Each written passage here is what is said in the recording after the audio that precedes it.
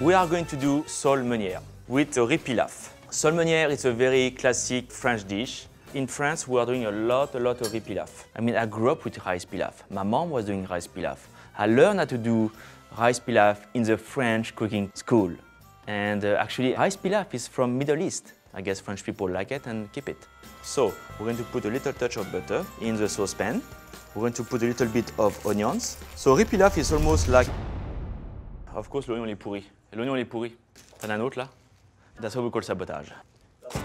So you're going to melt slowly your butter, and I'm going to add my onions. You don't want the heat too high, because you don't want any coloration. So it make me cry, the onions. Now we're going to put some uh, basmati rice. You want the rice also to become a little bit, like we say in France, we say nacré. Like I will say in English, uh,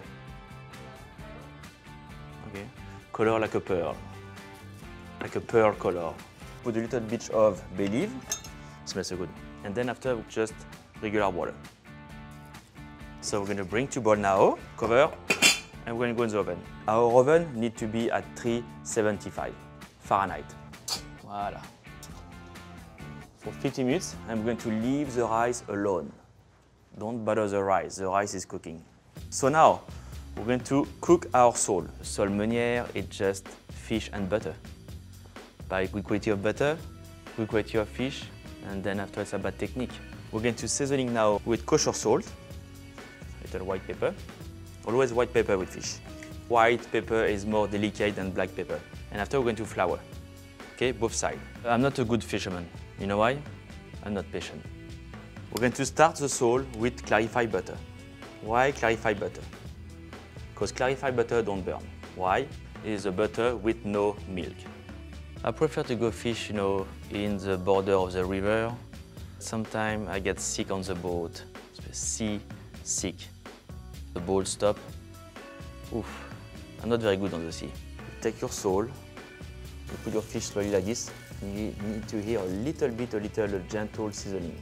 I learned how to cook whole fish when I was working with uh, one of my mentors, Alain Passard. See, it's not too strong, you know, it's like that. No, it's very gentle. So Mr. Passard teach me to cook with my hair. What are you talking about? Cook with my hair. Now you can hear the sizzling is going faster and noisy, so we're going to lower a little bit the heat. L'école du feu, the school of fire. A little trick I learned was cooking the fish with a spatula. Because as you can see here, the fish is thicker here and less thick here. So how you make sure it's cooked even everywhere, you use a little spatula and you're going to put your spatula here to block the fish. It's technical, but it's very easy. Don't be scared to cook whole fish at home.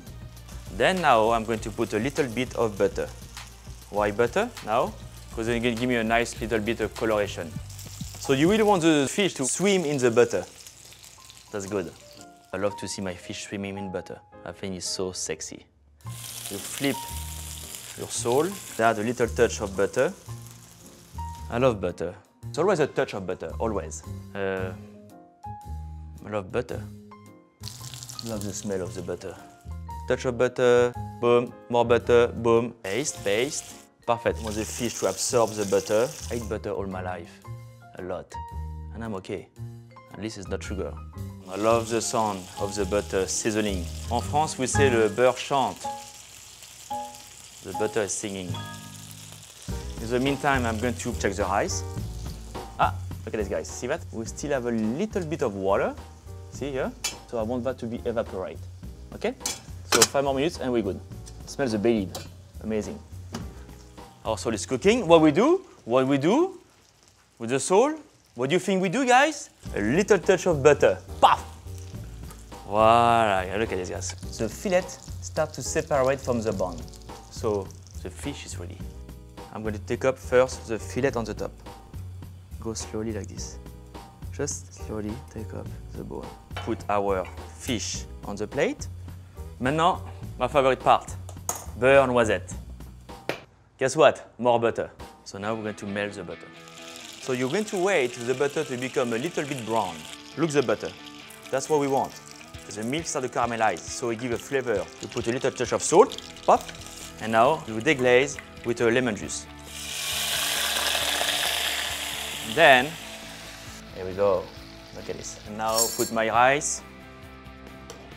Boom. So moist. Mm. But you know what's the problem, guys? I need more butter. I don't have enough butter in my plate.